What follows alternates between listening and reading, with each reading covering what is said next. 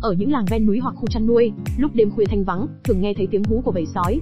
Đặc biệt là ở khu chăn nuôi, những người chăn nuôi gia súc càng thêm cảnh giác, sợ bầy sói tham lam tàn ác gây tổn hại cho đàn dê của mình. Tại sao chó sói lại thích hú vào ban đêm vậy?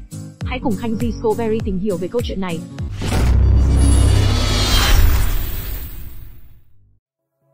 Các loài động vật trên thế giới đều có thói quen sinh sống của mình. Chó sói là loài mãnh thú tương đối lớn, thức ăn chính là thịt, chúng chuyên săn bắt thỏ, gà rừng, các loài hươu nai, chuột, gia cầm, gia súc, đôi khi cũng ăn một số thức ăn có tính thực vật, thậm chí còn tàn sát cả đồng loại. Sói đi thành bầy đôi khi còn có thể gây tổn thương cho người. Sói là một loài động vật đi ăn đêm. Khi trời vừa sẩm tối, bầy sói đói thường đi thành đàn để kiếm mồi, vừa đi vừa phát ra tiếng hú với âm thanh trầm thấp. Tiếng sói hú trong đêm làm người ta cảm thấy sởn tóc gáy, thực ra điều đó không phải là để dọa con người, mà là có hàm ý khác. Tiếng kêu của động vật là tín hiệu thông tin để liên hệ giữa bầy đàn động vật. Trong các tình huống khác nhau, động vật thường sẽ phát ra tiếng kêu khác nhau. Tiếng kêu đôi khi có quan hệ rất lớn tới thói quen sinh sản. Ví dụ như loài hươu trong thời kỳ sinh sản, hươu được thường phát ra tiếng kêu đặc biệt để tình đôi, còn tiếng hú của chó sói trong đêm là để tụ tập bầy đàn, hoặc thông qua tiếng hú để gọi lẫn nhau, như sói mẹ thường hú để gọi sói con, sói được lại hú gọi sói cái, sau khi tập hợp thành bầy mới ra ngoài kiếm ăn. Vào thời kỳ sinh sản, sói cũng thường phát ra tiếng hú để tình đôi. Vào thời kỳ nuôi con, ngoài sói mẹ cất tiếng hú ra, sói con khi đói cũng sẽ cất tiếng hú thê thế đòi ăn. Hổ loài vật được mệnh danh là chúa tể rừng xanh hay sử tử chúa sơn lâm, đều được con người thuần hóa, vậy tại sao con người lại không thuần hóa được chó sói? Chó và chó sói có bộ gen rất giống nhau, điều này gây khó khăn cho các nhà sinh học để hiểu lý do tại sao loài sói vẫn rất hoang dã, trong khi loài chó có thể sẵn sàng trở thành người bạn tốt nhất của con người. Nghiên cứu nhà sinh học tiến hóa Catherine Lott tại Đại học Massachusetts Amherst cho thấy các hành vi khác nhau giữa chó và chó sói có liên quan đến các trải nghiệm cảm giác sớm nhất của các loài vật này và thời kỳ quan trọng của sự xã hội hóa.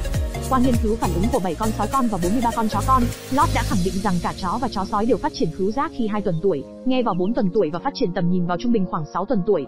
Tuy nhiên, hai phân loài này rơi vào giai đoạn xã hội hóa quan trọng ở các lứa tuổi khác nhau.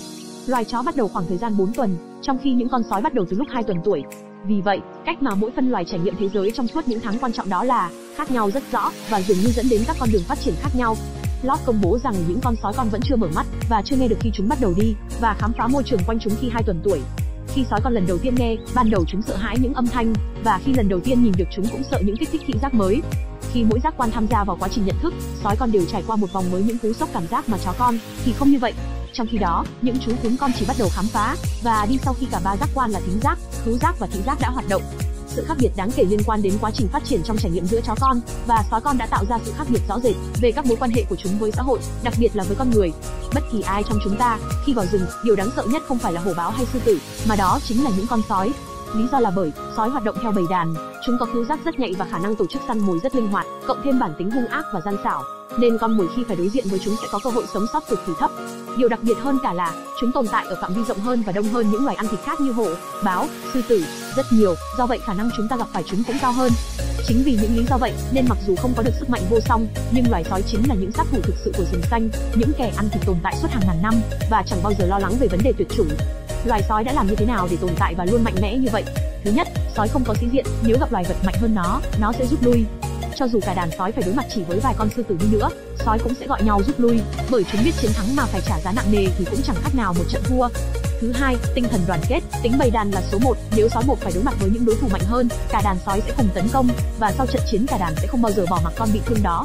Thứ ba, luôn mưu mẹo để đạt kết quả cuối cùng, để cái giá phải trả là nhỏ nhất. Loài sói dù được coi là sát thủ rừng xanh, nhưng nó không chỉ sử dụng răng và móng, mà nó luôn biết sử dụng cái đầu trong mọi việc, những việc không nhất thiết phải dùng sức, nó sẽ tìm những cách khác để làm. Chính vì vậy người ta mới luôn nói chó sói là loài gian ác, bởi trong việc săn mồi, nếu nó tìm ra cách tốn ít sức lực nhất, nó sẽ làm cách đó.